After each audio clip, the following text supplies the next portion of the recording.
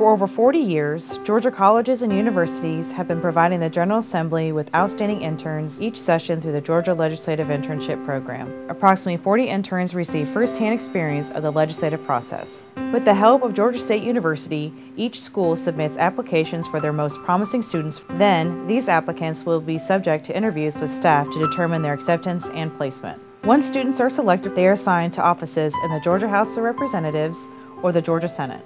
Each intern will serve a unique purpose in the process and have a multitude of different tasks to perform each day that may include legislative tracking, constituent services, media assistance, attendance at committee meetings, writing bill summaries, and so much more.